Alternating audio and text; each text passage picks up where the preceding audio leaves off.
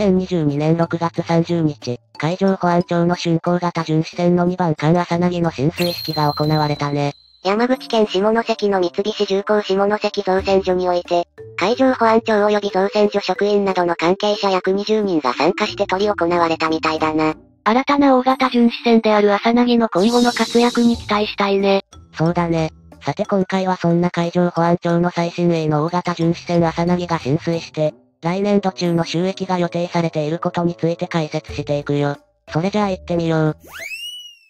竣工型巡視船は、交渉船系はヘリコプター2機搭載型巡視船。分類は PLH パトロールベセルラージウィズヘリコプターズとされ、総トン数6742トン全長約140メートル最大幅16.5メートルで報道では海上保安庁最大の巡視船とされているんだけど、ヘリコプター1機搭載型 PLH である黎明型巡視船黎明、暁、朝月の方が、総トン数約7300トン全長150メートル最大幅17メートルと一回り大きく、正しくは黎明型が最大の巡視船なんだよね。黎明型と竣工型はそれぞれその運用目的が異なり、黎明型はマラッカ海峡ソマリア沖の海賊問題などを考慮して、平成22年度計画で建造された PLH 式島型に準じた設計の秋津島の系譜で、概要や遠洋での航行能力が重視されているほか、戦闘など不測の事態に備えるために船体構造は軍艦構造が採用されているよ。軍艦構造について詳しく教えて。軍艦構造とは軍艦ないしはそれに準じた艦船の船体構造を指し、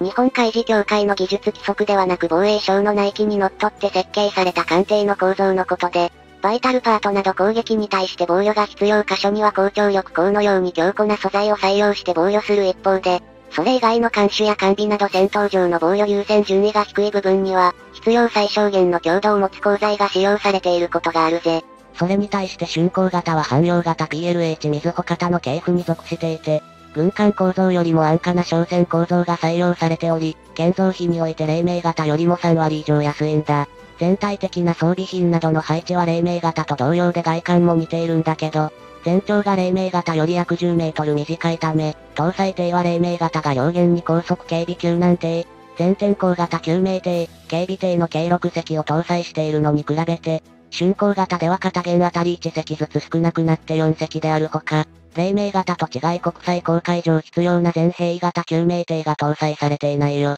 また、竣工型の後部マストは、黎明型では塔型なのに対して本型ではラキス構造と呼ばれる格子状の構造となっており、両型を見分ける外見上の特徴となっているぜ。また両型の違いは並走にも現れていて、黎明型では秋津島型と同様に、70口径 40mm 単装機銃と 20mm 多重心機銃を2機ずつ搭載しているのに対して、竣工型では70口径 40mm 単装機銃1機と 20mm 多重心機銃2機の搭載となり、40mm 機銃が1機少ないんだ。なお、遠隔放水銃及び停戦命令等表示装置、遠隔監視最小装置は両型に共通の装備となっているよ。また、両型ともに居住区画については長期間の公開に対応されていて、秋津島と同様に船内における配置や振動抑制などにおいて居住環境の改善が図られた設計がなされているみたい。乗組員に優しい構造になっているんだね。竣工型では任務事案の長期化に対応するとともに、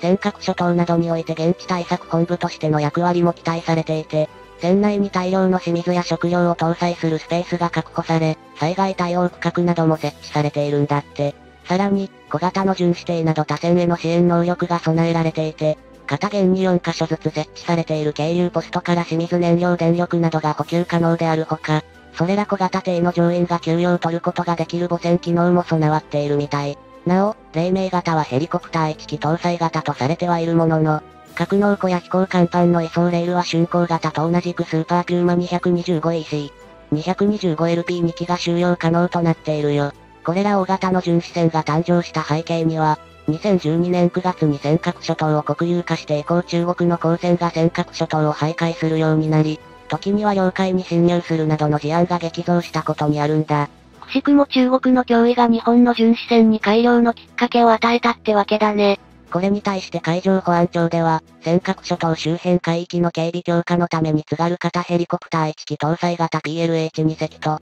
国神型戦闘型 PL10 隻の計12隻の巡視船によって尖閣領海警備戦銃体制の構築を図り、2016年3月には支援施設を含めてその構築を完了させたよ。しかし2013年に、それまで4つの組織に分かれていた中国の海上保安機関が、海警局として統合されて人民武装警察部隊に組み込まれ、第二海軍と称されるほどの体制強化と艦艇の増強が図られたぜ。中国海警局が保有する総トン数千トン以上の艦艇の数においては海上保安庁の倍以上であり、5000トン以上の大型艦艇も多数あり、2015年以降では 76mm 速射砲1機 30mm 遠隔操作式機関砲 RWS2 機 14.5mm、連装機関12機という重武装の1万2000トン級の海警2901と海警3901の2隻を収益させているね。さらに計画では、この1万2000トン級の大型艦艇を20隻保有する計画であるとされていて、海上保安庁との差が開く一方だったんだ。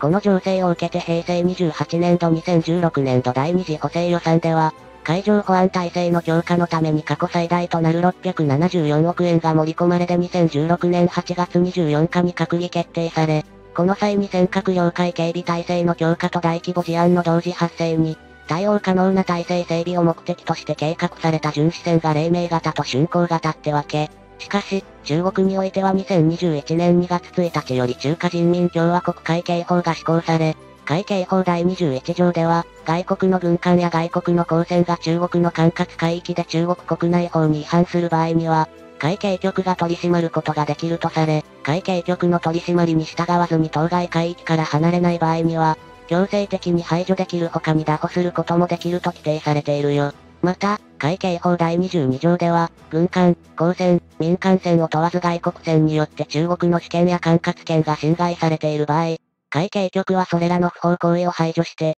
危険を除去するために必要な武器使用を含む全ての措置を取ることができると規定されていて、中国が尖閣諸島や南沙諸島の南シナ海なども中国の領土領海であると主張している現状においては、海警局の艦艇はこの国内法を根拠に尖閣諸島を守る海上保安庁の巡視船を攻撃できることになるんだ。それに対して海上保安庁の巡視船は、中国海警局の艦艇が領海を犯したとしても武器を使用することはできず、尖閣諸島周辺の日本領海への侵犯行為をめぐりってグレーゾーン事態への対処について早急に解決が必要な課題となっているな。グレーゾーン事態？グレーゾーン自体とは防衛白書によれば純然たる平時でも有事でもない幅広い状況を端的に表現したものであるとされていて、例えば漁民を装った国籍不明の武装集団が日本の離島に上陸し、不正占拠した場合などを指していて、現行の法律では警察や海上保安庁だけでは対応できない事態のことを指しているよ。海上保安庁や警察が単独では手に負えない事態が発生した場合は、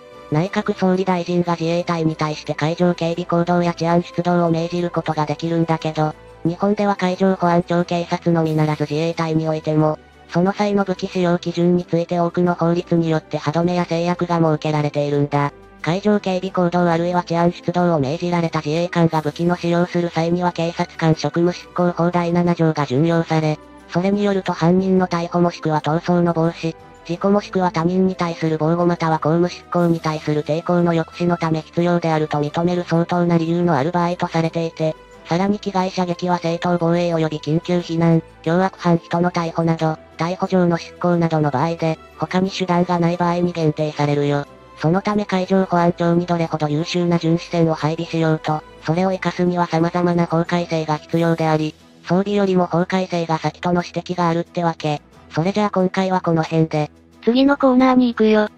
ここからは僕の雑学の時間だよ。待ってました。今日の雑学は、距離についてだよ。距離に雑学なんてあるのか？あるんだな。距離の単位はいろんなものがあるよね。確かに、メートルやミリメートル、キロメートル、たくさんあるよね。それじゃパソコンのマウスの距離を表す単位を知っているかな？いや、そんな距離の単位があるの？センチメートルじゃないの？いやそれは引っ掛けじゃないかでもその裏の裏を書いて実はセンチメートルだったりな。いや、あいつのことだからセンチメートルなんて簡単な雑学じゃないから。でも他の単位がわかんないや。いや、わかるわけねえだろ。正解を教えてくれ。結局わからなかったんだね。正解はミッキーらしいよ。いやいやバカにしすぎだろ。いやほんとだって、1ミッキーは約 0.25mm と言われているんだ。でもなんでミッキーなんだろう？それはね、マイクロソフト社の Windows のマウスドライバーなどを開発担当者が、ミッキーマウスにちなんでジョークとして名付けたのが有力な説になっているよ。